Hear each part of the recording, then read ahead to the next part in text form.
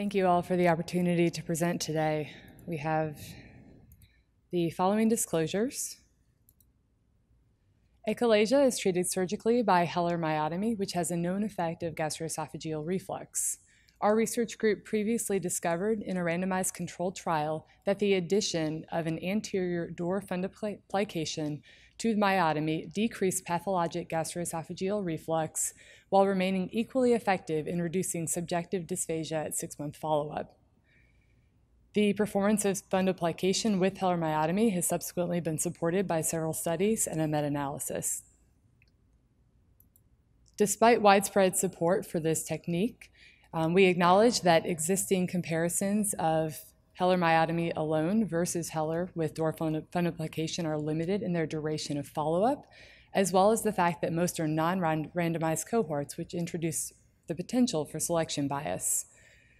Achalasia is believed to be a progressive disease process despite intervention, so long-term outcomes are essential to understanding how operative intervention impacts these patients. Additionally, emerging endoluminal, therapies for achalasia, most notably POEM, do not include an anti-reflux procedure.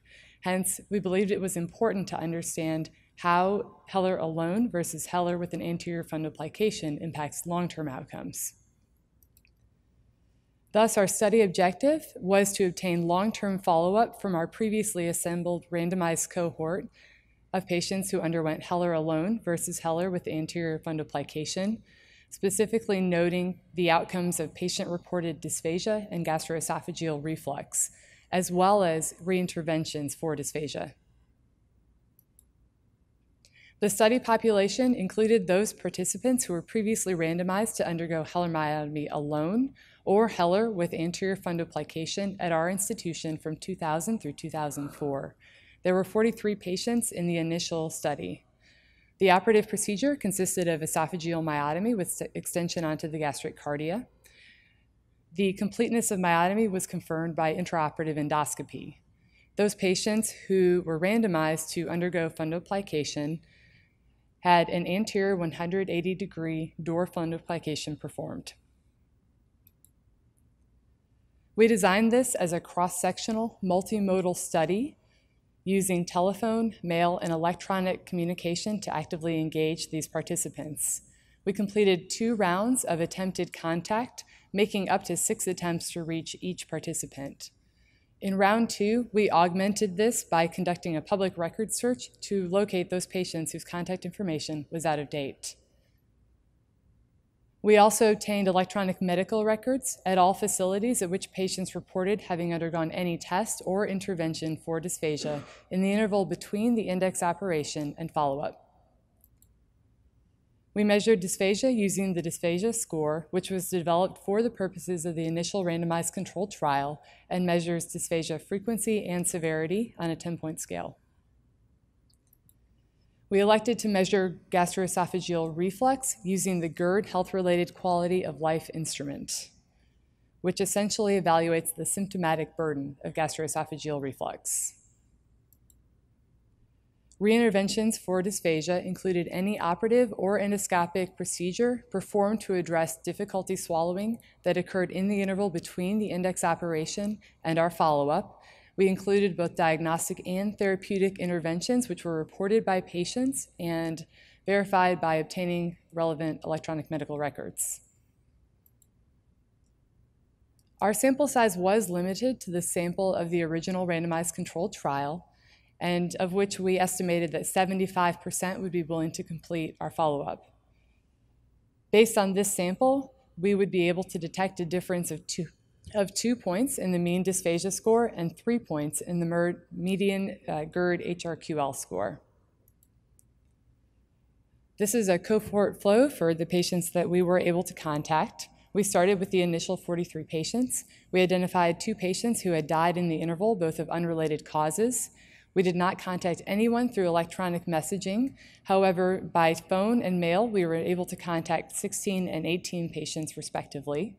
In our second round, um, with updated information from our public record search, we were able to contact an additional three patients for a total of 27 participants. Our study participants were similar in both groups with respect to age, gender, race, and follow-up period with a mean follow-up of just under 12 years.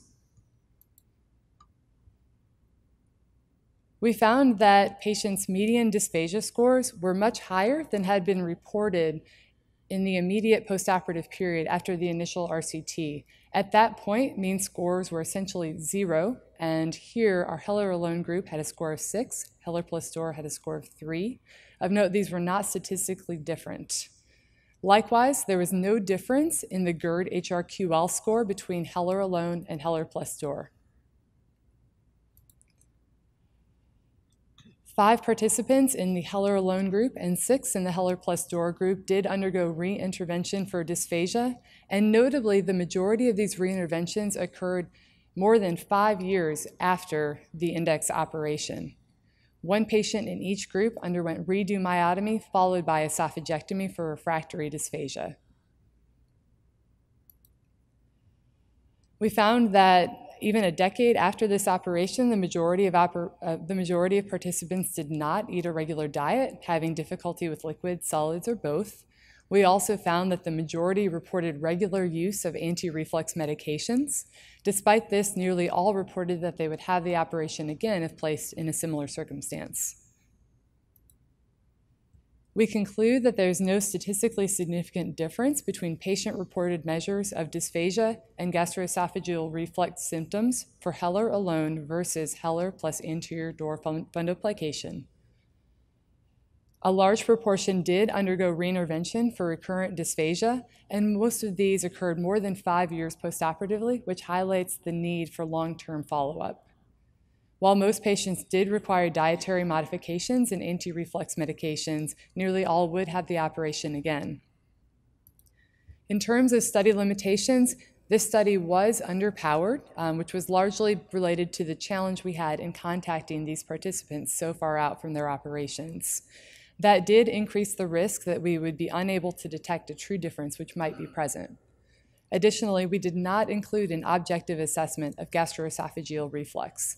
We believe that this significantly increased the number of patients who were willing to participate in the follow-up study. Additionally, we felt that patient-reported measures were highly relevant in terms of counseling our patients long-term.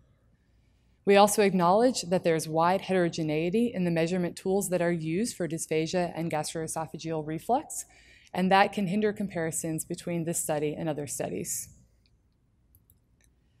This is the only long-term follow-up of a randomized cohort comparing Heller alone and Heller plus Dor fundoplication for achalasia. Given the equivalent long-term outcomes, this implies that myotomy with and without fundoplication can be recommended to patients. This does provide theoretical support for endoluminal therapies that do not include fundoplication, However, long-term follow-up will be needed to understand true outcomes from those patients. And finally, the use of patient-reported measures enabled us to conduct long-term and reproducible follow-up.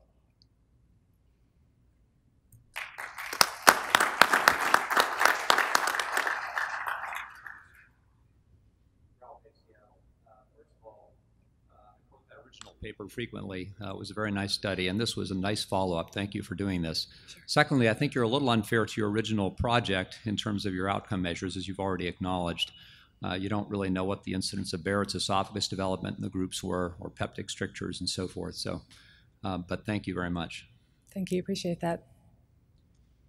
Uh, Steve DeMeester from the Oregon Clinic. I would just echo that be careful about saying it's perfectly fine to do a Heller without a fundoplication without evidence of damaging reflux. We know long term the single largest reason for failure of achalasia treatment is reflux disease, either as a consequence of strictures, esophagitis, Barrett's, and so forth. And to not have that data and have a concluding slide that says it's perfectly fine to do either, I think is dangerous. Thank you. We definitely appreciate that. Um, obviously, we are limited to patient-reported symptomatic outcomes um, and not objective assessments. Um, the only support that we can provide for this is that um, in present times with the use of proton pump inhibitors, we do find that the incidence of those um, horrible sequelae of gastroesophageal reflux disease are reduced significantly, but definitely agree with your, your comment. Absolutely. Okay. Thank you so much.